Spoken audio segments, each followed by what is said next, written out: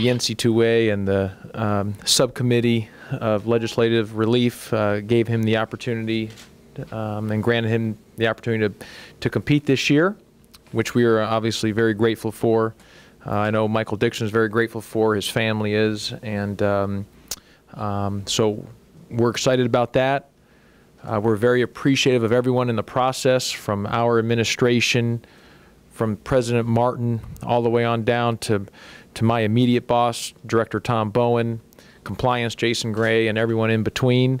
So um, uh, we're very, very fortunate and uh, looking forward to, to moving forward and uh, ready to ready to get on the court. Uh, when I and when I talked to him, um, when I told him today, he was bawling, crying. I mean, the, the he was he you know, and and he was, I mean, was, he was just extremely emotional, and um, um, and so uh, I think the the built up tension and pressure and and and thoughts and swinging back and forth to this. And uh, he is very very grateful for this. And, and let me tell you something. I, I'm a big believer in in appreciation over entitlement. I'm a big believer in an attitude of gratitude, about being positive, about being thankful.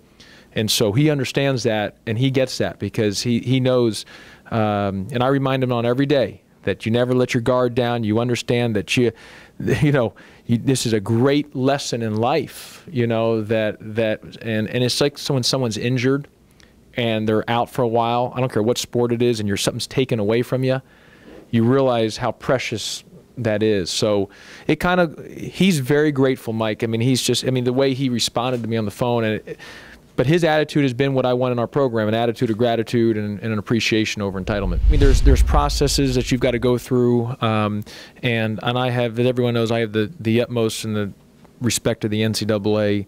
I know sometimes they get you know people can say this this and that, but uh, they're they're an organization that has done a lot of good for a lot of young people and for people in general. I mean, you know, all of us here in the athletic department are part of the NC2A membership. So um, there's there's certain processes, there's certain uh, procedures and policies that you have to follow, and sometimes times just take a little longer than than things need to be. But but that's okay, and that's just part of the policies and procedures. A lot of things we've been doing in the way that I have been planning on wanting to play and doing different things was, you know, having Michael Dixon included in that. So.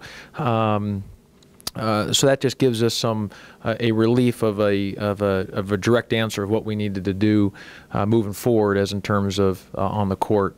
And, and, and let me say this regarding regarding Michael Dixon. Um, he will, like everybody else, have to earn his right for playing time and compete for the spots. And and I think that's important. I believe in competition. I think competition's healthy. And uh, uh, but what he brings is is leadership on the floor. He communicates. It's an area of, of uh, that we have to get better. Our uh, guys talking on the floor, and that's one of his strengths.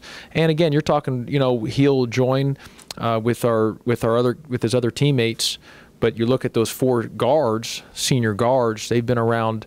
They've all been on a team that's won at least 30 games, and the only thing those those guys haven't done, um, as like I've said before, is really have advanced deep in the NCAA tournament. So, but but he will compete uh, as everybody else because we've got other good players. I don't care if they're freshmen, sophomore, junior, seniors. Um, everything's up for grabs, and we'll go from there.